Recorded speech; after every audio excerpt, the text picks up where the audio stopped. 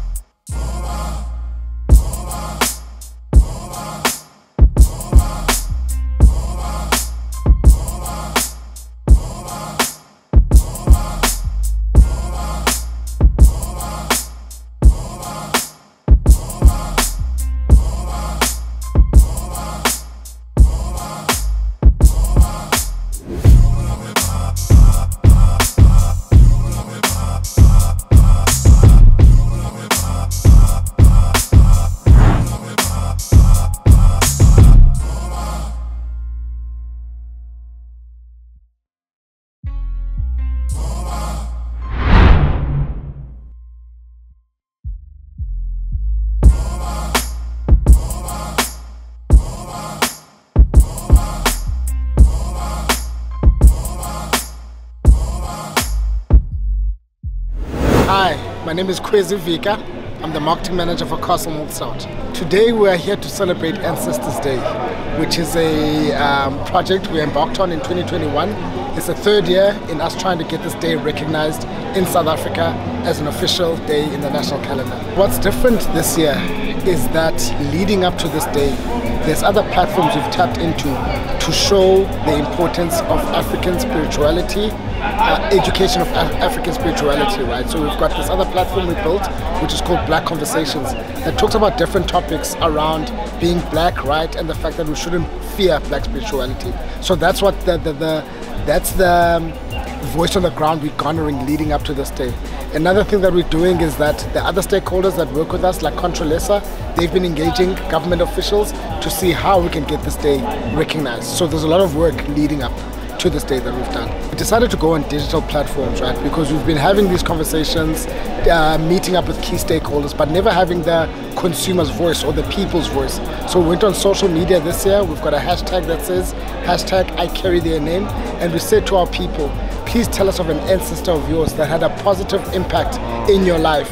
Share that story, and then whoever shares the most compelling and emotive story, they could win 50,000 rand to commemorate something, to have umcimbi or lay a tombstone on, on behalf of that uh, ancestor. So the designing of the can came from a previous campaign called Clan Beats, are, uh, centered around people's clan names, right? Uh, as, Af- as Africans, we've got our name, surname, and then our clan name, what we belong to. So that's what that campaign came from. And where to from here? We've got a project that we're working on to change the packaging of Castle Milk Stout, go closer to Inkunzi Mnyama, which is uh, uh, uses the symbolism of a pool, right? And then even in that packaging, we're going to go back to some clan names. And what we want to do is take stout to the people this year, right? So coming up with a lot of campaigns that bring the product closer to the people that love it.